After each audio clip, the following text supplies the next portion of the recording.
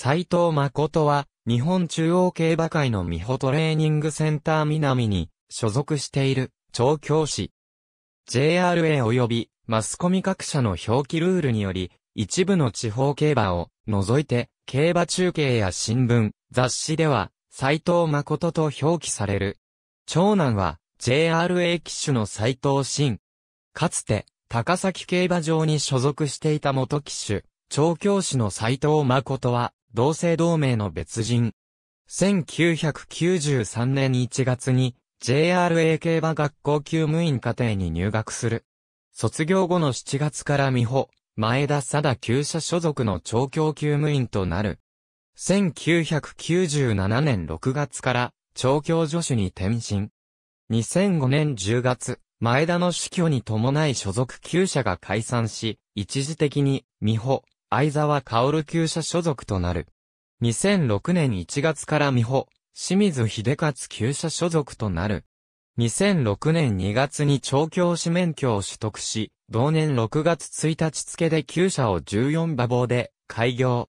水野隆弘厩舎と同期開業となった。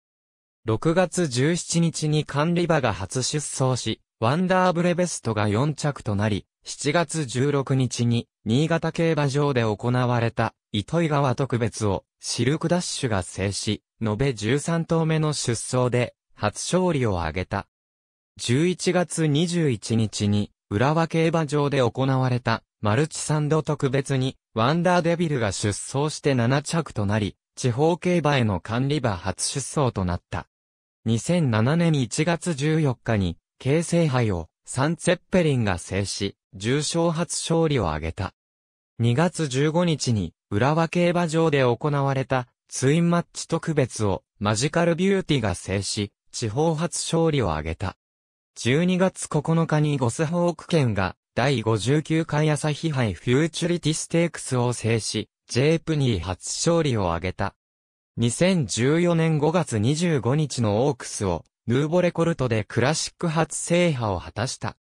長男の斎藤真は騎手を志し、2013年に東京競馬場で行われた第5回全国ポニー競馬選手権ジョッキーベイビーズで優勝。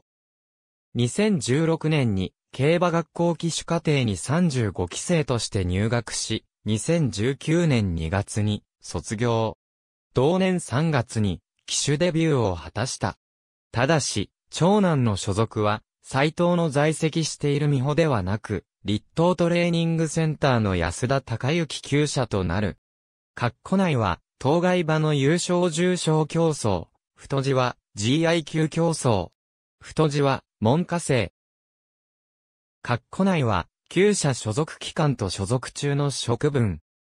令和2年度機種免許試験合格者日本中央、競馬会2020年2月11日。斎藤新騎手が、ルーキー初勝利一番乗り。